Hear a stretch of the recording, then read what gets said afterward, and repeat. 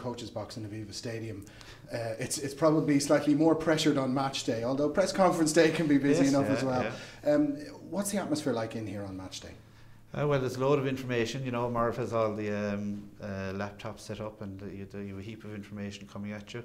There's not a whole lot of fresh air because we're well sealed off from the crowd. Um, once match time starts and the referee's mic clicks in, we get him over the microphone, so we have pretty much what he's telling the players. And so it's a, it's a completely different type of atmosphere than watching it from from the side of the pitch. And um, but it's one that is a privilege to be part of. But it's uh, it's intense in a good way. Les Kiss mentioned the fact that he, he tends to be trying to focus on his area of the game, and, and, Yeah. and I suppose Gert is focusing on his. The, the various different coaches focusing. Are you trying to take a holistic view of the whole game, or are you focusing on a specific area as well? Yeah, well, I just try and I just try and watch the game as a whole and just see what's happening. Sometimes, uh, most times you're following play, but as soon as play has ceased, then you're probably look, looking at the overall pitch. See, is there anybody lying down anywhere? Is there anything needs to be done? The medics are doing their job out on the pitch, and it is it's a real team effort. And um, if I need some specific piece of information, I have great men uh, that I'm working with that I can go and ask them. But you know, they they do a large chunk of the work. I'm I'm just there to to help them along. Declan, thank you very much, and good luck over the next two months. Okay, thanks very much. What's the atmosphere like on a match day in here? Nice, cool, calm, and collected.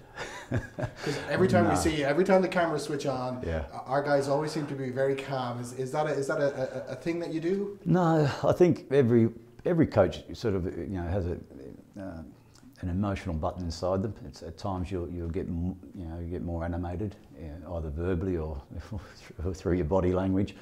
Um, but as you can see, it, it is an exceptionally good uh, situation to watch from. But it is closed off. You don't get a lot of sound from outside, so it's sort of like a you know, you know, not I wouldn't call it a sterile environment, but it's a little bit different when you don't have the crowd noise right on top of you. So uh, at times it's a um, you feel sort of separated from what the crowd are feeling out there.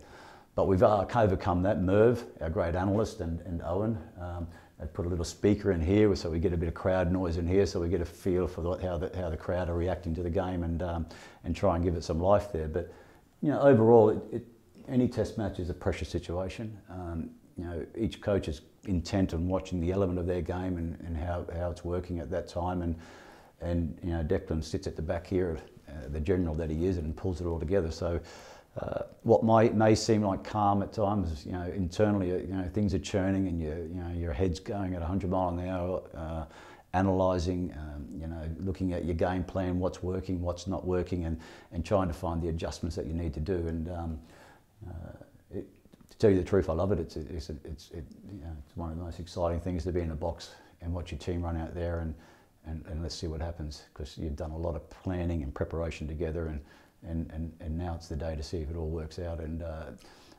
uh, it, I love it because it's, uh, it's just something that drives me on a daily basis to get to be in a coach's box at test level and see how things work out out there. Les, thanks very much, and best of luck in the next eight weeks. Cheers.